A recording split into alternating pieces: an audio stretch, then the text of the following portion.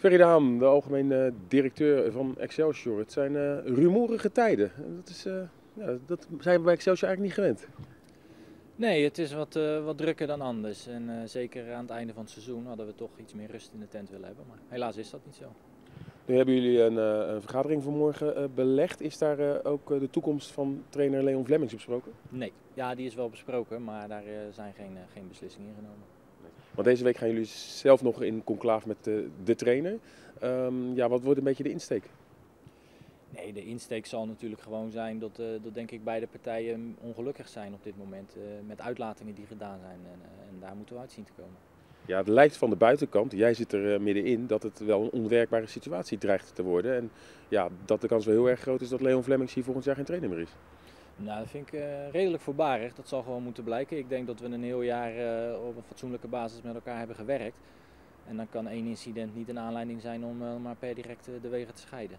Maar met name proefden we bij de voorzitter al dat er toch wel heel veel kou in de lucht zit.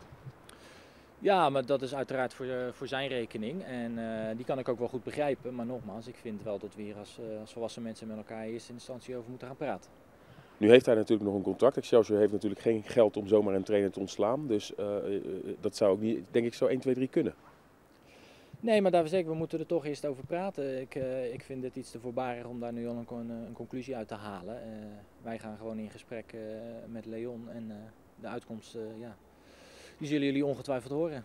Jouw voorganger sprak ik zojuist, Simon Kelder. Eh, ja, die liet eh, wel eh, tussen neus en lippen blijken dat er volgens mij maar één conclusie is en dat, dat het exit is. Nou ja, nogmaals, ook dat vind ik erg voorbarig.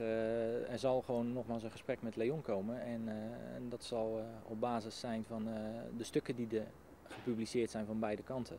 En daar moeten we gewoon uit zien te komen. En, en dan zal moeten bekeken worden of er een werkbare situatie is, ja of nee. Er zijn er een aantal eh, wat oudere mensen uit het bestuur eh, eh, die zijn vervangen. Hè, waaronder Simon Kelder en Nico Janssens. Kan je uitleggen waarom jullie dat hebben gedaan? Nou, punt 1, de bestuurssamenstelling is niet mijn takenpakket. Dus ik ben daar niet bij betrokken geweest. Maar ja, men wilde gewoon verder in een verjonging van, van de organisatie. En ik denk dat deze drie mensen die nu een stapje terug doen, meer dan uitstekend werk voor Excelsior hebben geleverd. Ja, en eh, nu zullen de andere mensen komen en die zullen dat moeten minimaal proberen te evenaren.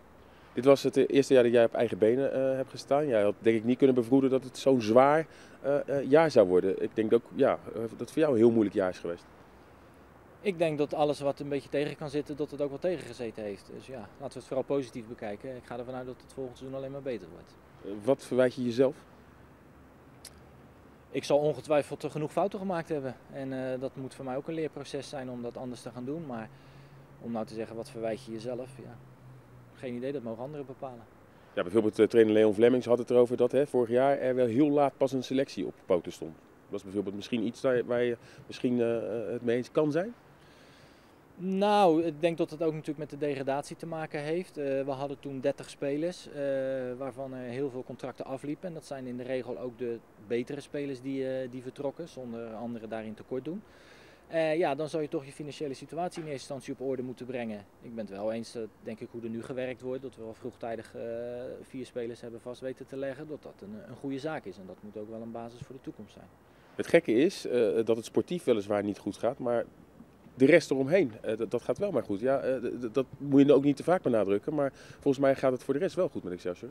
Ja, maar laten we ook niet vergeten, Excelsior is een voetbalclub, dus het gaat in eerste instantie om voetbal. Maar alles wat er verder omheen gaat en dan met name maatschappelijk, maar zeker ook commercieel, waar heel veel tijd en energie in gestoken wordt met een geweldige businessclub.